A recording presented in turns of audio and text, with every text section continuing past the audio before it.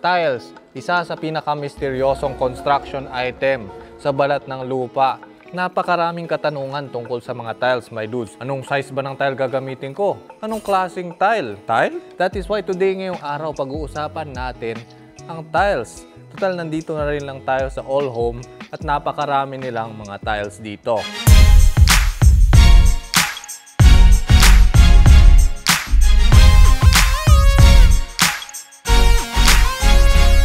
Let's say you're building your dream living room. Anong tiles ang ilalagay natin dito?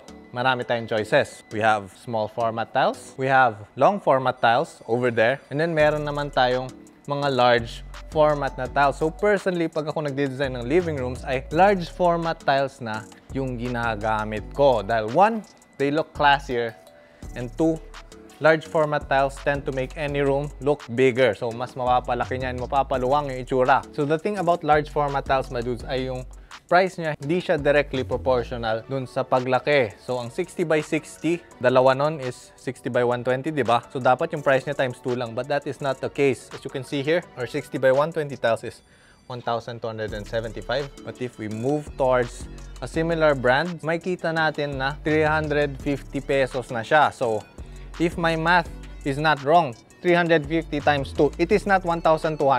It is somewhere around 700 pesos. So, ayun, hindi siya directly proportional. Now, kung may budget kayo, go for those larger format tiles. Pero me personally, okay na ako dito sa 60 by 60 tiles. Now, you might be wondering, my dudes, bakit ba mas mahal yung malalaking format ng tiles? So, The reason for that is mas mahirap sila i-manufacture and two, mas mahirap i-maintain yung quality nila. Dahil nga malaki siya, mas meron tayong tendency mag-bow yung tiles pag ganon or pag ganon. So, that is one more thing, my dudes. Now, na nakapili na tayo ng size, isa pang inaalala nyo ay yung ating kulay. So, para sa akin, yung kulay na kadalasan na pinipili ko is pag malaki yung ating kwarto at dominant na color ng ating room is white, kadalasan kukuha ako ng ating mga wood or cream na tiles. So, we don't want na yung buong kwarto natin white. Magbumukhang hospital yon. So, pwede tayo pumili ng different color na tiles. Now, let's say yung kwarto nyo hindi ganun kalaki. Pwede tayo gumamit ng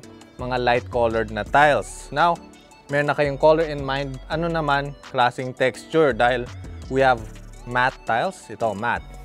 Boom. So, it's called matte kasi hindi siya ganun ka-shiny. And then, we have glossy tiles over there. The thing you have to keep in mind when it comes to yung shininess or yung sheen ng ating tiles ay yung shiny, mas magpapaluwang siya. Itong mga matte, mas low maintenance. Yung shiny kasi, onting matalsikan mo lang yun ng laway, tapos mag-dry, magkakaroon siya ng parang mga patches-patches. Yung ganito, hindi gaano kahalata yung mga spots and blemishes natin. So, just in case hindi kayo ganun kadalas maglinis ay mas hindi siya halata doon sa ating mga matte na tiles.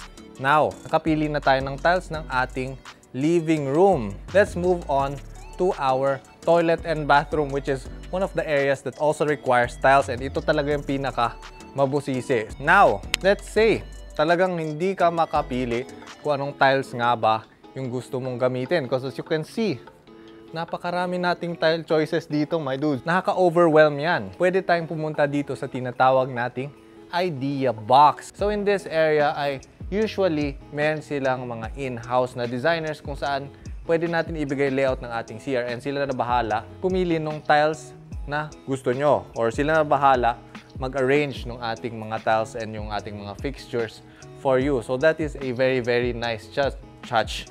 Very nice touch dahil kadalasan yung mga nagdi-DIY or balak mag-DIY, pupunta lang sila dito. They don't have any idea kung ano yung design na ilalagay nila sa bathroom nila. Kagandahan nun ay, just in case wala kang idea, you just go here, tell them the specs, and boom! Available na rin dito yung mga sinabi niya na tiles or yung specs na ilalagay nyo. Okay, so there we go. That is the idea box. So for the toilet and bathrooms, meron tayong dalawang klase ng tiles na kailangan natin alalahanin. One is our floor tiles and the second one ay ang ating wall tiles. I lied, tatlo pala yung aalalahanin natin. We also have yung tinatawag natin na accent tiles. Pagdating naman sa ating mga floor tiles, personally, ang nilalagay ko dito ay small format na tiles. Anywhere around 30 by 30, pababa. Kasi mas madali silang maikakabit ng ating mga mason, yung mga small format na tiles. Also, pagdating sa CR, meron na yung tinatawag natin na klibe or yung slope. Dahil mali yung ating slope, pwedeng magkaroon tayo ng parang puddle of water dun sa mga ayaw natin na spaces. Like, sarap ng pintuan, dun magpapaddle yung water. You do not want that. I can't even, guys, kung gaano karaming beses ako naka-socks, tapos pumasok ako ng CR, nabasa yung socks ko, wala na. My day is ruined.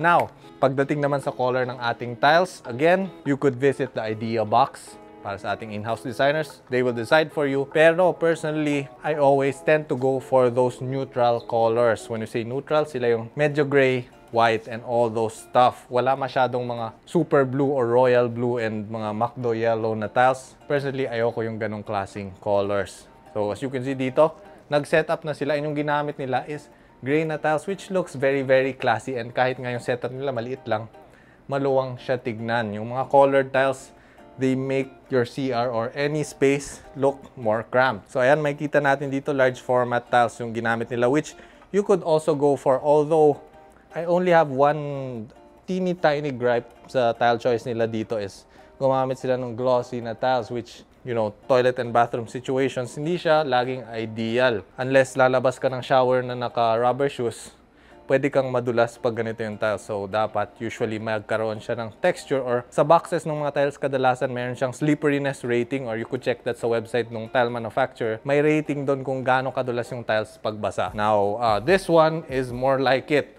Makita natin meron siyang texture. Now, pagdating sa ganitong klase na texture na tiles, kahit gaano siya kabasa, ay di na siya ganun kadulas. So, textured tiles for your toilet and bathroom floors. Tapos na tayo dyan sa ating floor tiles. Let's talk about the wall tiles. So, when it comes to wall tiles, I tend to go for those lighter colored ones. So, ito, maganda yung choice na ginamit nila dito. And sa wall tiles, di na natin kailangan alalahanin yung texture. So, okay din yung shiny. Pwede rin yung matte. It's up to you, my dudes. So, pag wall tiles, pwede tayo pumili ng ganito which is 60 by 60. And kadalasan na ginagamit ko 30 by 60. So, hatiin nyo lang to sa gitna. I believe meron tayong 30 by 60 tiles here. So, kadalasan, pag yung room nyo ay hindi ganun katangkad, pwede nyo i-orient patayo na ganyan yung 30 by 60. Gives the illusion na mas mataas yung ating ceiling. Pero pag yung CR naman natin ay medyo masikip siya, pwedeng ganyan yung orientation nyo para magkaroon tayo ng onting luwang. Now, yung accent tiles kadalasan, nilalagay natin yon dun sa ating shower area. And usually, pagpasok natin dito, itong buong wall na ito ng shower, ibang klase na tiles na yan, which is highly contrasting dun sa overall color ng tiles natin. But again, ay, huwag kayo gagamit ng royal blue, color yellow, or color red na tiles. You could choose other tiles na in the neutral gradient of color pa rin siya, my dude. So, hanap tayo dito. Meron ba tayong mahanap na accent tiles? So, pwedeng ganito, brown, ayan, or pwede rin wood pattern.